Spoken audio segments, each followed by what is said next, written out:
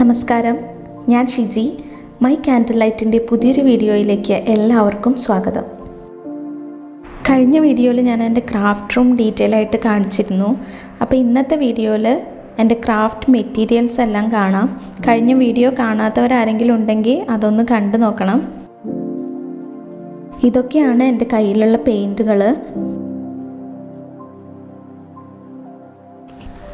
ഈ കാണുന്ന ബോക്സിലുള്ളതെല്ലാം ആക്രലിക് കളേഴ്സാണ് ഫെവിക്രലിന്റെ ആക്രലിക് കളേഴ്സാണ് എന്റെ കയ്യിൽ കൂടുതലായിട്ടുള്ളത്. വൈറ്റും ബ്ലാക്കും കൂടുതലായിട്ട് യൂസ് ചെയ്യുന്നതുകൊണ്ട് തന്നെ അതിങ്ങനെ ഒരു ബോക്സായിട്ട് വാങ്ങിക്കും.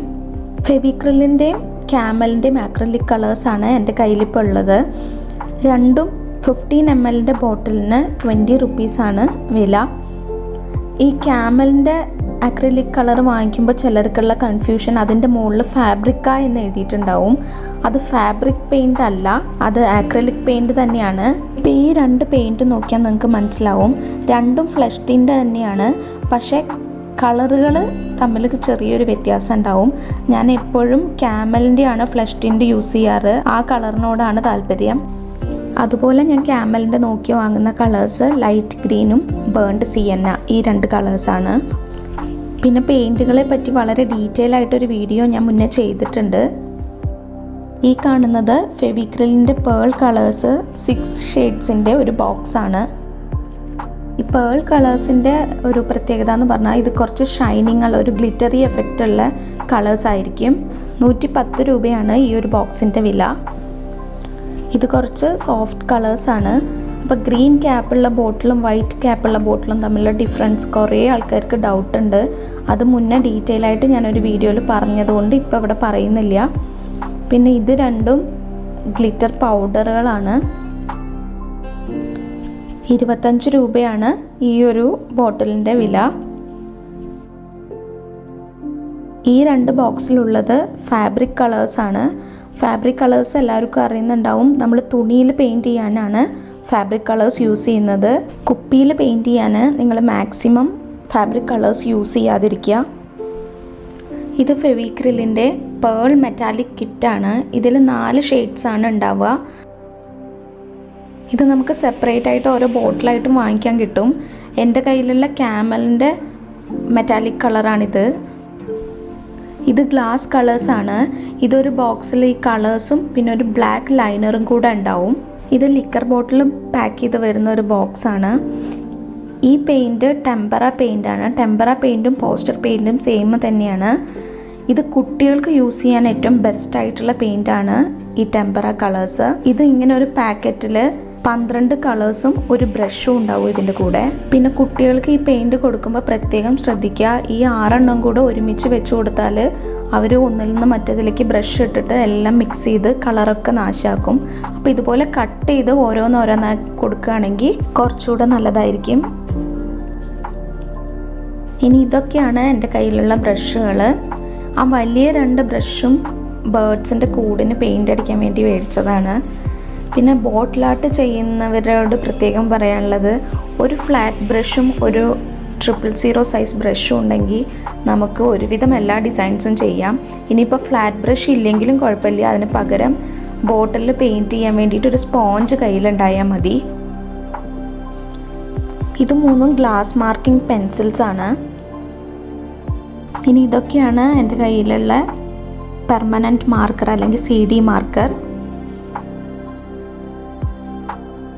ഇത് ഗ്ലാസ് ബോട്ടിൽ കട്ട് ചെയ്തിട്ട് പ്ലാസ്റ്റർ ഓഫ് പാരിസ് വെച്ച് ചെയ്ത ഒരു വർക്കാണ്. ഇതിലാണ് ഞാൻ ഡെയിലി യൂസ് ചെയ്യുന്ന കുറച്ച് സാധനങ്ങളൊക്കെ ഇട്ട് വെച്ചിട്ടുള്ളത്. ഇതൊരു ഗ്ലിറ്റർ ജെൽ പെന്നാണ് പിന്നെ എന്റെ കട്ടർ ഒരു red colour C D marker പിന്നെ പെന്ന് അങ്ങനെ അത്യാവശ്യം കുറച്ച് സാധനങ്ങളൊക്കെയാണ് ഞാൻ ഈ ഒരു ബോട്ടിലിൽ സൂക്ഷിച്ചു വെച്ചിട്ടുള്ളത്. പിന്നെ ഇത് രണ്ടും പൊട്ടിപ്പോയ ബ്രഷുകളാണ്. ഇത് മണ്ഡല ആർട്ടിനാണ് ഞാൻ യൂസ് ചെയ്യാറ്. ഇതും ലിക്കർ ബോട്ടിൽ വരുന്ന ഒരു ബോക്സാണ് ഇതിനകത്ത് എന്റെ സ്കെയിൽ ഗ്ലൂ സ്റ്റിക്ക് പിന്നെ ഗ്ലാസ് കട്ടർ ആക്സോ ബ്ലേഡ് അങ്ങനെ കുറച്ച് സാധനങ്ങളൊക്കെയാണ് ഞാൻ എടുത്തു വെച്ചിട്ടുള്ളത്. ഇതെന്റെ പാലറ്റ് നൈഫാണ് ഇത് ഓൺലൈനിൽ നിന്ന് വാങ്ങിച്ചതാണ്. ഇതിന്റെ എല്ലാം റേറ്റ് ഞാനിവിടെ സ്ക്രീനിൽ എഴുതി കാണിക്കാം. പിന്നെ ഇത് അടുത്തുള്ളൊരു ഷോപ്പിൽ നിന്ന് വാങ്ങിച്ചതാണ് ഗ്ലാസ് കട്ടർ പിന്നെ ഇത് പേപ്പർ കട്ടറാണ് ഇത് നല്ല ഇതിന്റെ കൂടെ എക്സ്ട്രാ ബ്ലേഡ്സും ഉണ്ട്. ഇത് നല്ല യൂസ്ഫുൾ ആയിട്ടുള്ള ഒരു സാധനമാണ്. പിന്നെ ഇതെന്റെ ഗ്ലൂ സ്റ്റിക്കും എക്സോ ബ്ലേഡും ഒക്കെയാണ്. പിന്നെ ഇത് പിക്ചർ വാർണിഷാണ് പിക്ചർ വാർണിഷാണ് ഞാൻ എപ്പോഴും യൂസ് ചെയ്യാറുള്ളത്. ഇത് പിന്നെ നമ്മൾ ഡെക്കോ പാഷൊക്കെ ചെയ്യുമ്പോൾ യൂസ് ചെയ്യുന്ന മോഡ് പോഡ്ജാണ് ഇത് രണ്ടും ഓൺലൈനിൽ നിന്ന് വാങ്ങിച്ചതാണ്. ഇത് രണ്ടും ടർപ്പന്റൈൻ ഓയിലാണ് നമ്മൾ പെയിന്റൊക്കെ ബ്രഷിൽ കട്ട പിടിച്ചിരുന്നാൽ കഴുകാൻ വേണ്ടി ടർപ്പന്റൈൻ ഓയിൽ യൂസ് ചെയ്യാം. പിന്നെ ഇത് മൂന്നും പ്രൈമറും ഇനാമൽ പെയിന്റ്സ് ഒക്കെയാണ്. ഇത് ബേർഡ്സിന്റെ കൂടിന് പെയിന്റ് ചെയ്യാൻ വേണ്ടി വാങ്ങിച്ചു വെച്ചതാണ്. പിന്നെ ഇങ്ങനത്തെ സാധനങ്ങളൊക്കെ വാങ്ങിക്കുമ്പോൾ പ്രത്യേകം പെയിന്റ് ഷോപ്പിൽ നിന്ന് തന്നെ വാങ്ങിക്കാൻ ശ്രദ്ധിക്കുക. അപ്പോഴാണ് നമുക്ക് റേറ്റ് കുറഞ്ഞിട്ട് വാങ്ങിക്കാൻ പറ്റുള്ളൂ. ഇത് പ്ലാസ്റ്റർ പാരിസ് ആണ്. ഇത് ഒരു വൺ കെ ജി പാക്കറ്റിന് ഇരുപത്തി എട്ട് രൂപയാണ് ഇതിന്റെ പാക്കറ്റിലെ വില. ഇരുപത്തി ഏഴ് രൂപ കൊടുത്താണ് വാങ്ങിച്ചത്. ഇതിങ്ങനെ ഒരു ടൈറ്റ് കണ്ടെയ്നറിൽ വേണം ഇട്ട് വയ്ക്കാൻ പിന്നെ ഇതാണ് എന്റെ കയ്യിലുള്ള spray paint golden colour spray paint ആണ്.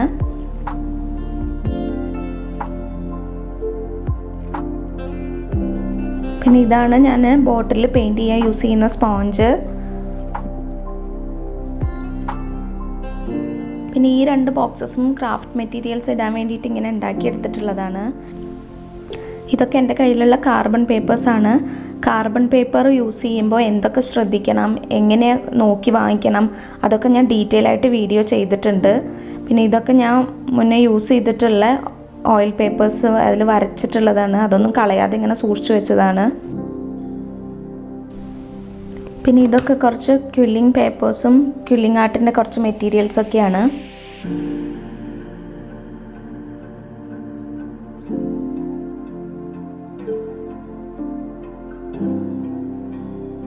പിന്നെ ഈ ഒരു ബോക്സിലുള്ളത് insulation tape masking tape double side tape അങ്ങനെ കുറച്ച് സാധനങ്ങളൊക്കെയാണ്.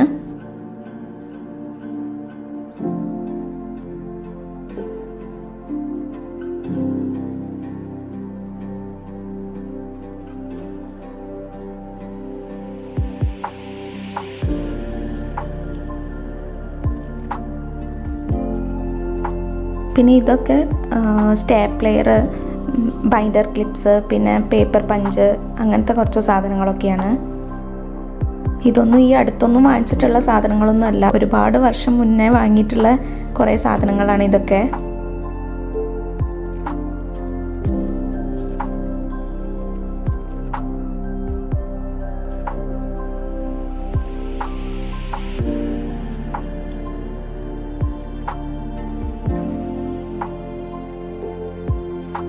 പിന്നെ എന്ത് കിട്ടിയാലും കൊണ്ടുവന്ന് വയ്ക്കുന്ന ഒരു ബോക്സാണ് ഇത് ഈ മുത്തുകളും ബട്ടണെല്ലാം വാങ്ങിച്ചിട്ടുള്ളത് തൃശ്ശൂരിലുള്ള ഒരു ബട്ടൺ ഹൗസിൽ നിന്നാണ്. പിന്നെ ഈ ഗ്ലിറ്റർ പൗഡർ ഈ മുത്തുകൾ മിറർ അങ്ങനത്തെ ഓൾമോസ്റ്റ് എല്ലാ സാധനങ്ങളും വാങ്ങിച്ചിട്ടുള്ളത് തൃശ്ശൂർ പുത്തൻപള്ളി എന്ന് പറഞ്ഞ സ്ഥലത്തുള്ള ഫെജി എന്ന് പറഞ്ഞൊരു ഷോപ്പിൽ നിന്നാണ്. അവിടെ ആ ഷോപ്പിൽ ഓൾമോസ്റ്റ് ക്രാഫ്റ്റ് റിലേറ്റഡ് ആയിട്ടുള്ള എല്ലാ ഐറ്റംസും ഉണ്ട്. ഇതൊക്കെ പഴയ ബട്ടൺസ് ആണ്.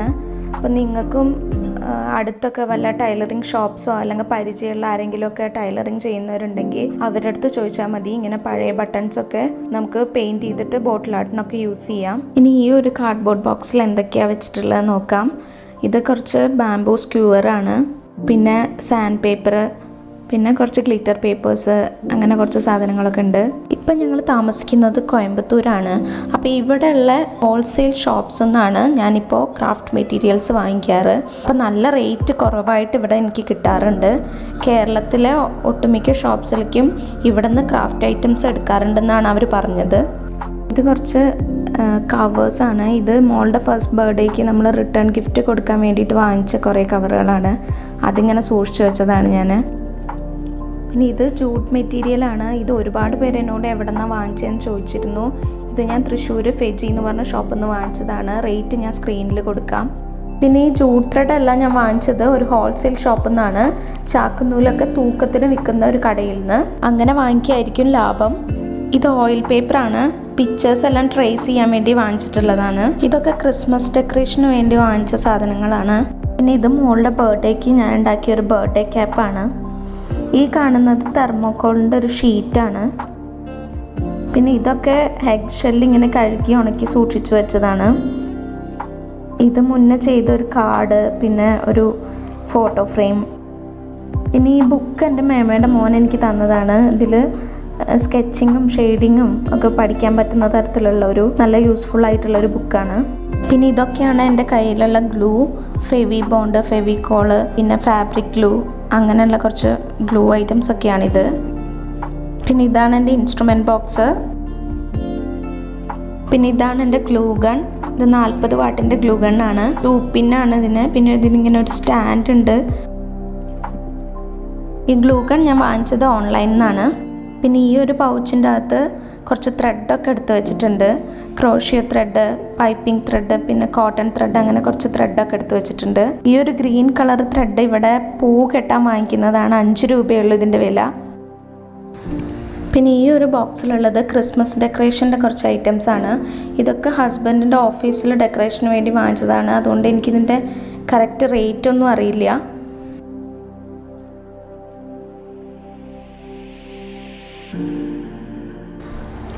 പിന്നെ ഇത് സെന്റർ ടീ ലൈറ്റ്സ് ആണ്. ഈ ക്യാൻഡിൽസ് റൂമിൽ കത്തിച്ച് വെച്ചാൽ ഒരു പ്രത്യേകം നല്ല സ്മെല്ലായിരിക്കും പിന്നെ ഇതാണ് എന്റെ കയ്യിലുള്ള ലൈറ്റ്സ്